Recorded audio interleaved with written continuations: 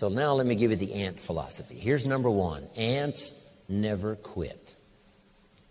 If, there, if an ant is going somewhere and you stop him, guess what he'll do immediately? Look for another way. He'll look around, he'll look up, he'll look down. And how long will he look to try to find another way to get where he's going? The answer is forever. The answer is until.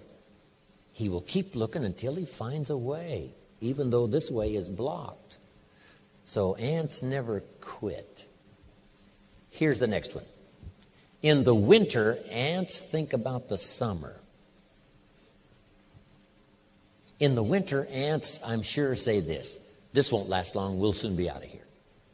How long can a winter last? There's never been a double winter. Now, here's what else ants do they think winter in the summer. Just because everything's nice now doesn't mean the storm may not come. There's a little story that says this don't build your house on the sand in the summer. Because in the summer, it's easy to get faked out. It says build your house on a rock because the storm is going to come. And so you want to make sure your house is on the rock. Someone says, Well, I've never been through a storm. Then you must find somebody that's been through one and let them scare you to death.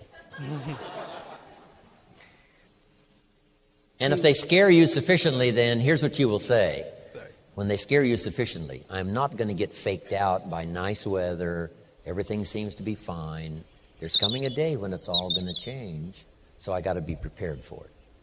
So we think winter when it's summer to be prepared, and we think summer when it's winter, so we'll be ready for the opportunity.